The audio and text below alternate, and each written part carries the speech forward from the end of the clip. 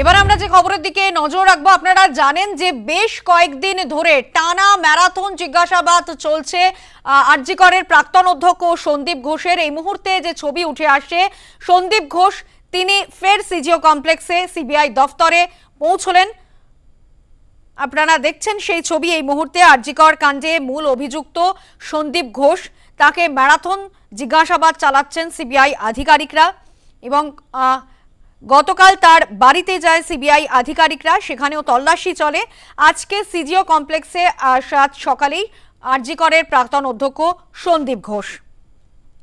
ইতিমধ্যে আপনারা জানেন যে একের পর এক দুর্নীতিতে নাম জড়িয়েছে আরজিকরের প্রাক্তন অধ্যক্ষ সন্দীপ ঘোষের। এই মুহূর্তে যে ছবি আপনাদের আমরা দেখাচ্ছি, সিজিও কমপ্লেক্সে পৌঁছে গেছেন আরজিকরের প্রাক্তন অধ্যক্ষ সন্দীপ ঘোষ। এর আগে একাধিকবার সিজিও কমপ্লেক্সে তিনি গেছেন এবং টানা ন থেকে আট থেকে ন দিন ম্যারাথন জিজ্ঞাসাবাদ চলছে, সিবিআই আধিকারিকরা জিজ্ঞাসাবাদ করছেন এবং গতকাল তার বাড়িতে যান সিবিআই আধিকারিকরা। আজকে আবারও সিজিও কমপ্লেক্সে সকালেই পৌঁছে গেছেন আরজিকরের প্রাক্তন অধ্যক্ষ সন্দীপ ঘোষ। একের পর এক দুর্নীতিতে নাম জড়াচ্ছে সন্দীপ ঘোষের। অনুমতি ছাড়াই ফুড স্টল, ক্যাফে, ক্যান্টিনে টেন্ডার দেয়া হতো। তিন বিশেষ ব্যবসায়ীকে কয়েক কোটি টাকার বিনিময়ে টেন্ডার পাইয়ে দেয়া হতো। একেবারে দুর্নীতির র্যাকেট তৈরি করেছিলেন এই সন্দীপ ঘোষ। এমনটাই সিবিআই আধিকারিকরা অভিযোগ জানিয়েছেন। তারা বলছেন যে বিভিন্ন রকমভাবে ব্যবসায়ীদের অনেক টাকার বিনিময়ে টেন্ডার পাইয়ে দেওয়া হতো। অনুমতি ছাড়াই ফুড স্টল, ক্যাফে, ক্যান্টিনে টেন্ডার দেওয়া হতো। আমরা কথা বলব আমাদের সঙ্গে টেলিফোন লাইনে রয়েছেন আমাদের প্রতিনিধি সন্তোষ ঠাকুর।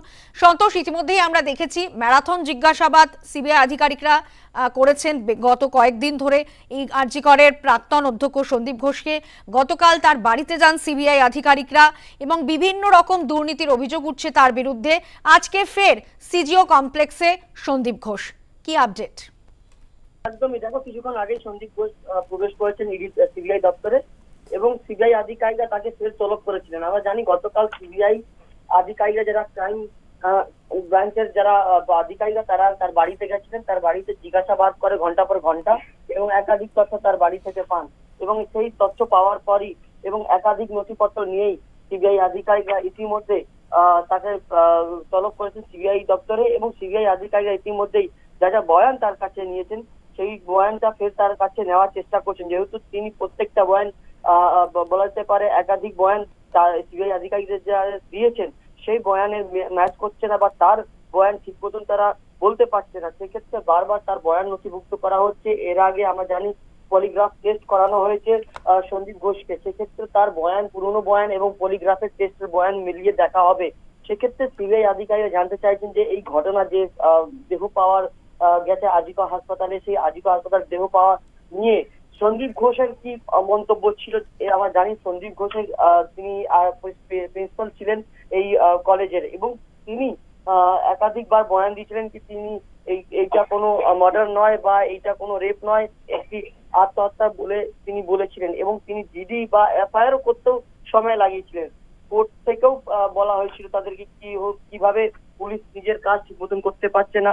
এই ধরনের প্রশ্ন বারবার কোর্ট থেকে তোলা হচ্ছে। কিন্তু যেহেতু সিবিআই আধিকারিকরা জানতে চাইছেন কি ঘটনার সময় তিনি কোথায় ছিলেন, তার মোবাইলের ডিটেলস কি ছিল, তিনি কার কার সাথে যোগাযোগ করেছিলেন, সমস্ত বিষয় এবং একাধিকবার সন্দীপ বলা যেতে পারে সন্দীপ ঘোষের বিরুদ্ধে একাধিকবার যারা পড়ুয়া ডাক্তাররা তারা একাধিকবার অভিযোগও করেছিলেন যেই সময় তিনি প্রিন্সিপাল ছিলেন।